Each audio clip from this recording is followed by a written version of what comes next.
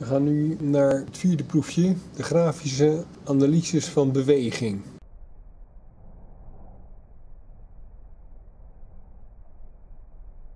Ik gebruik alleen het rode karretje.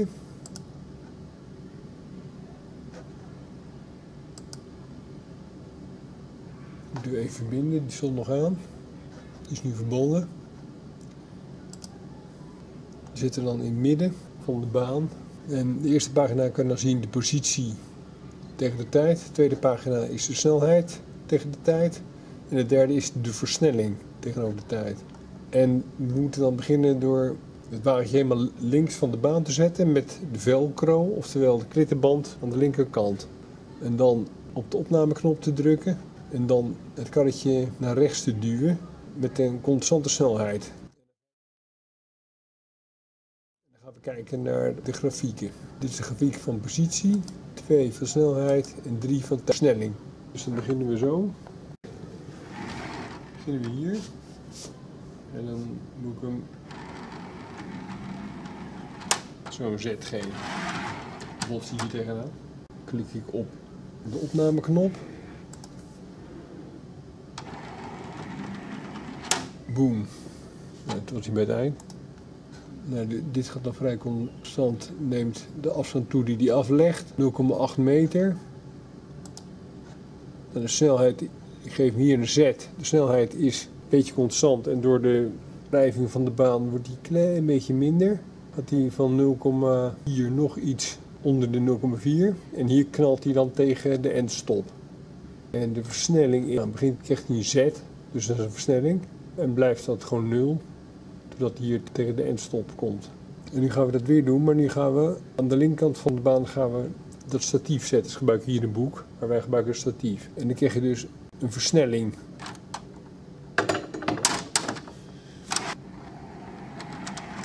Hier krijgt een versnelling terwijl die naar beneden rolt. Dus dan krijg je weer andere grafiekjes. Dan kan je dat mooi met elkaar vergelijken.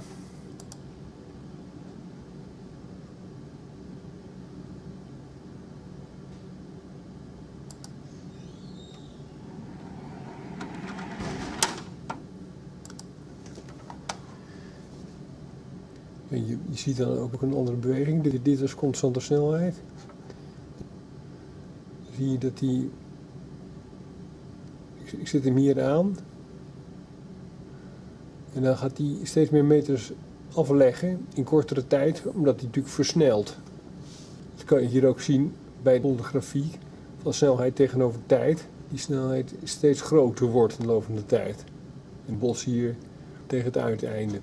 Bij die eerste run moest ik hem een zet geven, omdat toen de baan helemaal horizontaal lag. Maar nu loopt de baan schuin af naar rechts. Dus zie je duidelijk dat die versnelling positief is. En die is dan 0,2 meter per seconde kwadraat. Het was een constante positieve versnelling. Nou, dat blijkt ook, want je kan duidelijk in de grafiek zien dat die constant op 0,2 meter per seconde kwadraat zit. Dan gaan we naar de constante negatieve versnelling. En dan moeten we het statief aan de andere kant zetten. Hier de constante negatieve versnelling. De baan een beetje anders uh, gebouwd, want we hebben nu het statief aan de rechterkant van de baan gezet. En nu ga ik de rode kar ook weer een zet geven. En dan gaan we kijken naar de afstand, de snelheid en de versnelling. En ook hier stopt de opname na 5 seconden. Dus dan wordt het over deze beweging.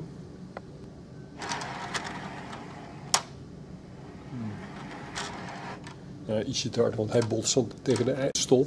Dat gaan we dan ook grafisch bekijken. We bekijken eerst de positie. Dan klik ik op de recordknop en als hij hier gaat lopen, dan geeft het rode karretje een.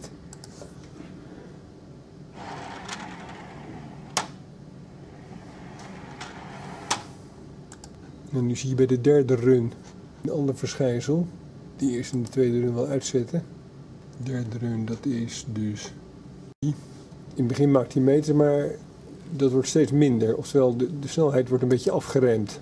Dat kan je ook zien bij de tweede grafiek. In het begin geef ik karretje een zet. En dan wordt de snelheid wordt steeds minder. Dan botst hij hier eh, tegen het eind en dan krijgt hij daarna negatieve snelheid omdat hij weer naar beneden rolt. Als de tweede run werd hij versneld.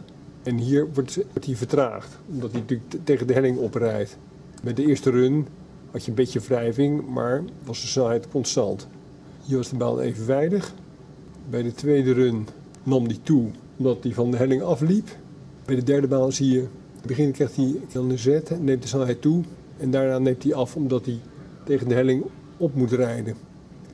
En kijk je nu naar de versnelling, dan zie je bij de tweede run, als hij een helling afrijdt, dat hij een constante versnelling heeft. En moet hij tegen de helling oprijden, dan krijgt hij een constante vertraging. Oftewel een negatieve versnelling.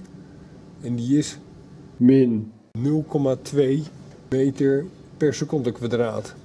Daarom zit hij hier onder de nul. En hier botst hij natuurlijk weer tegen het einde. Het verschil met de eerste run, dat was bij een horizontale baan heb je geen versnelling. Daarna zie je van, als hij een helling afrolt, krijgt hij een constante versnelling. En bij de derde run krijgt hij een constante vertraging, omdat hij tegen de helling op moet rijden en daardoor gewoon snelheid verliest.